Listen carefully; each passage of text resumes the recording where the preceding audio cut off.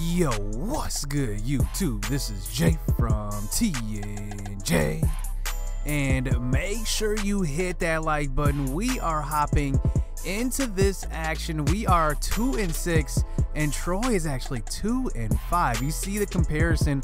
We're actually rated a lot better than them on offense, it looks like, but on defense, we got some work to do. I mean, we've had kind of a down season.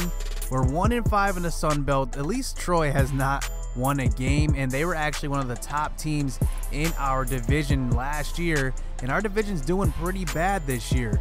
So in this video, I do want to talk about this series and the future of it going forward. So I am not getting rid of this series, trust me.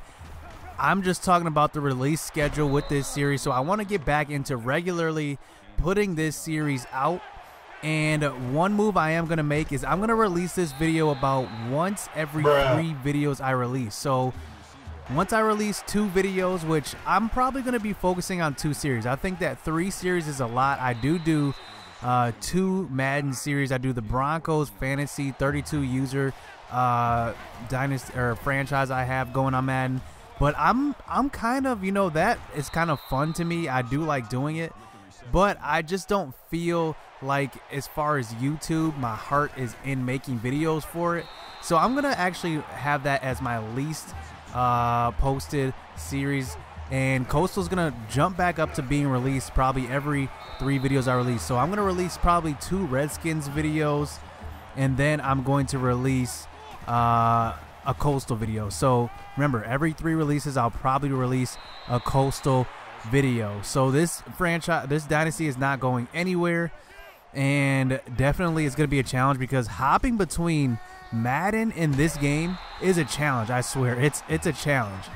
But I'm up for the challenge, and I want to see some of my coastal guys even make it into my Madden series. So let's just hop into this gameplay. You see on the first drive, we did hold them to a field goal, so that's a good sign because our defense has been struggling. But on a third and 10, throwing it out to Jack Kleck, and there is Jack Kleck, the transfer sophomore, getting the catch for a nice game for a first down. So now on a second and eight, here's Kashawn Curtin throwing back out to Kleck in the flats and picking up seven yards. So now facing a third and two. Here's Jimbo Brown getting the handoff, but that one is not well blocked.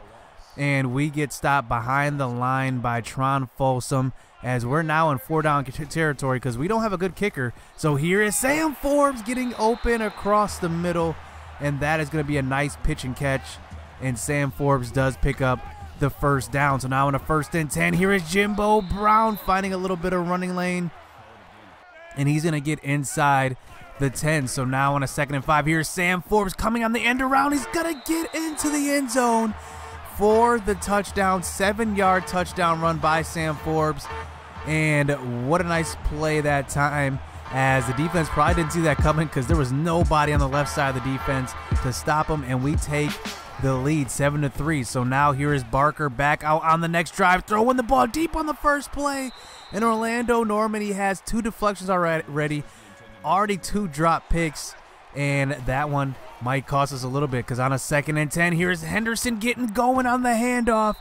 And Henderson, Jamarius Henderson is going to get 17 yards on that carry. So here's Barker from the shotgun, finding a little running lane, going to get through the defensive line and pick up 12 yards. So now on a first and 10, here is Barker giving it off to Jamarius Henderson one more time, and he's getting up close to about the 25 yard line. So now two minutes left in this first quarter here on a first and 10 wide open is DeAndre Douglas burning Xavier Davis on the outside for the touchdown, and they take the 10 to 7 lead. So now here back out on offense. Look at Jimbo Brown straight destroying a corner on that one, making him look like a wimp, and he picks up seven yards. So now on a third and three, here is Curtin throwing across the middles to Sam Forbes and picking up an easy first down. So now on a first and 10 here near the 40 yard line. Here is Curtin throwing to the right side, finding Justin Johnson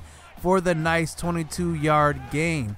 So now on a second and four, a couple of plays later, here's Justin Johnson one more time with two back to back receptions that time picking up 10. So now on a second and 10, close to the 25 yard line, getting into field goal range. Look who's wide open.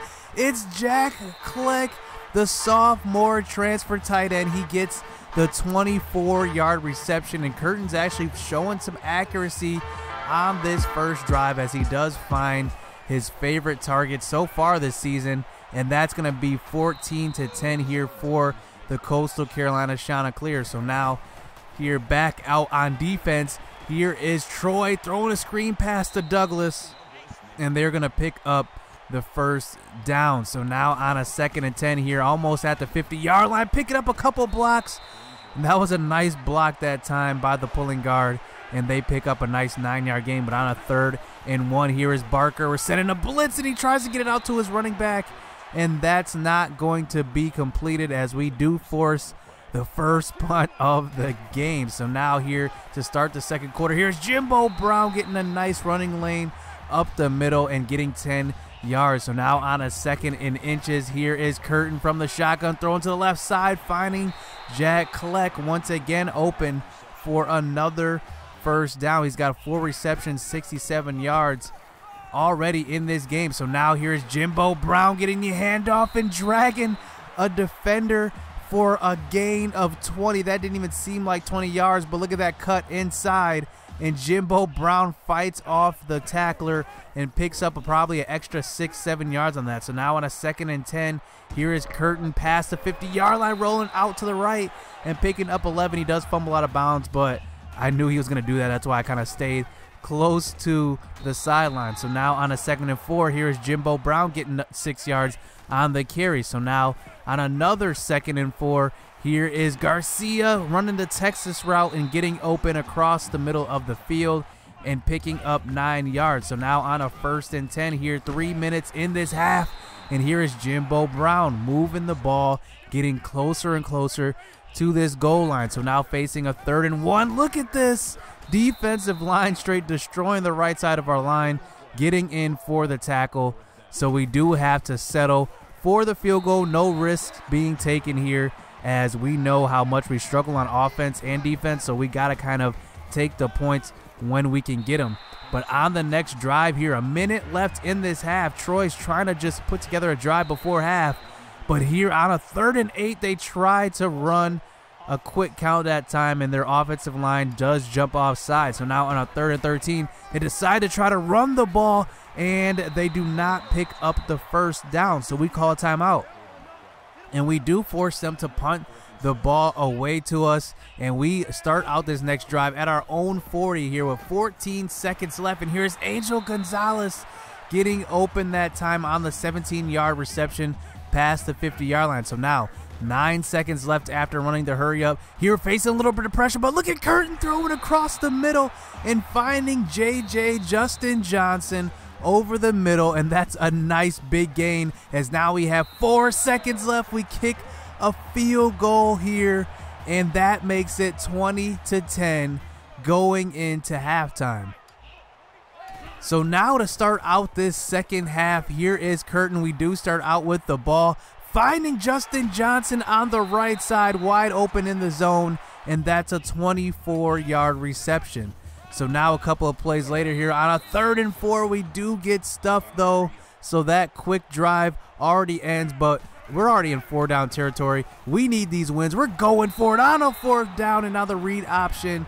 Curtin does pick it up, and we move the chain. So now here on a second and seven, here is Kashawn Curtin rolling out to the right. Wide open is a couple of receivers, and he throws the ball deep. And Angel Gonzalez, the redshirt freshman, gets in for the touchdown, 40 yards downfield. And the defense, I don't even know what happened. That might have been a blown coverage, but Angel Gonzalez somehow gets wide open behind the defense.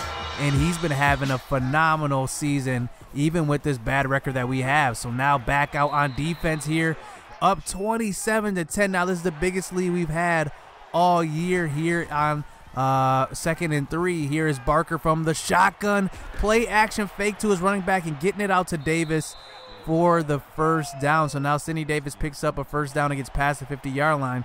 So now a couple of plays later, here's Troy here trying to get into field goal range on a third and 10, dumping it off to the running back Henderson. But that's not picking up any yards. I don't know what they're doing. And that's going to be a tackle that time. And they're going to have to try to settle for the long field goal. And that is kind of close. I mean, that was a long field goal. That was probably over 56 yards and we do take over. So now on a first and 10, trying to throw the ball deep one more time. That time it's Sam Forbes rather than Angel Gonzalez, and that one's almost an interception. So on a second and 10, giving it to Jimbo Brown. Easy five yards. So now on a third and five here, close to the 50 yard line, throwing the ball across the middle, standing in the pocket, facing a little pressure, finding Justin Johnson, the freshman, as we do continue this drive. So now on a first and 10, here is Curtin facing some more pressure, throw it out to the right.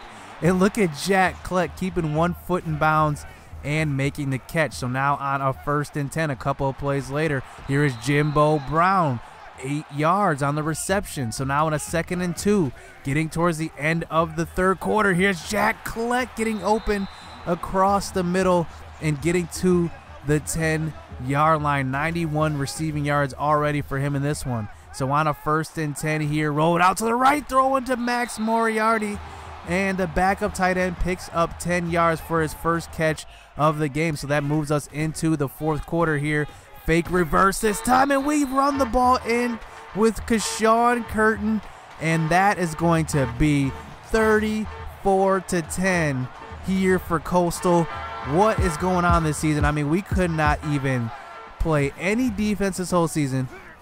But now all of a sudden, we end up doing this.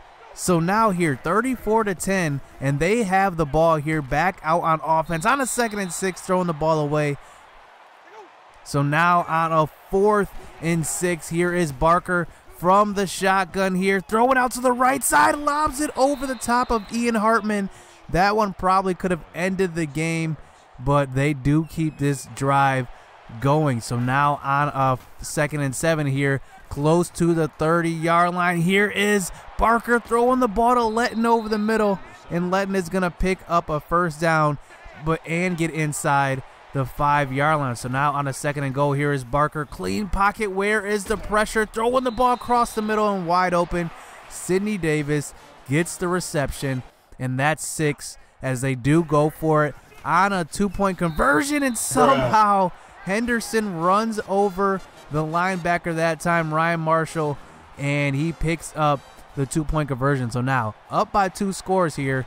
Here's Alan King on the kick return. He gets a little running lane and he's getting to the outside, outrunning everybody. One man to miss, but he does get tackled at about the 12 yard line. What a year this freshman returner has been having and likely next year he'll probably get some looks at safety as here's Jimbo Brown now with great field position running the ball forward for a nice five yards. But on a third and five here's Curtin trying to roll out to the right gets tackled and look at this the ball is fumbled and it stays in bounds and the defender falls right on it for the first turnover of the game. So we do get him down to a third and 11 inside the five yard line but here's Henderson getting the little little pitch there and picking up the first down. So now, two minutes, 50 seconds left in this game. Here is Barker finding a wide open Henderson one more time, and he's picking up the first down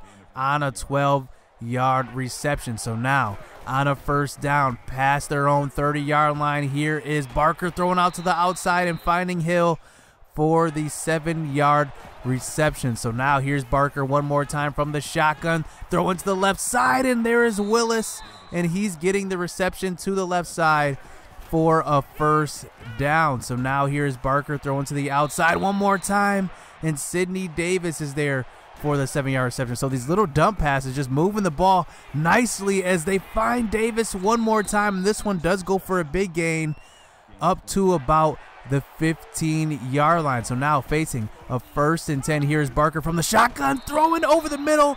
And we baited them that whole drive, letting them think they can get away with these short passes. Have an opportunity for an interception, and we drop it. So now here's Barker back out on the next play, third and 10. And look who's there for the interception. I was just talking about it that next year he's going to get some looks at safety. And the true freshman, Alan King, comes up with the interception. And that propels us to seal this game as we take care of business at home 34 to 18. As Kashawn Curtin actually had a pretty good game. I mean, no inaccurate throws that really irritated me.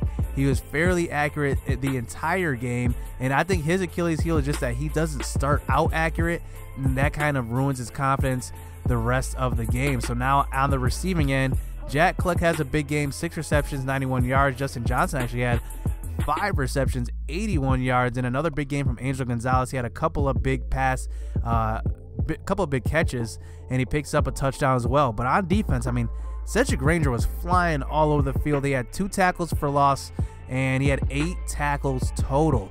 And one thing, you know, I'm just disappointed in Xavier Davis. I mean, he's not having the season that I would want him to have on the outside, but I mean, I'm still giving him a chance because, you know, there are times when he does make good plays. Trust me, he does, but he does give up a lot of big plays. He gave up one in this game as well. So you see Caleb Barker on their side, two touchdowns, one interception threw for 260, and Henderson ran for only 62. It seemed like he ran for 100 as he did have 37 yards receiving. But I mean, this was an overall good game. I liked what I saw from both sides of the ball. We definitely balled out. This might have been probably our best game this year. So hit subscribe, hit that like button. Next episode, we are going up against Texas State. So you don't want to miss that one. So stay tuned. Let's get it. Let's go.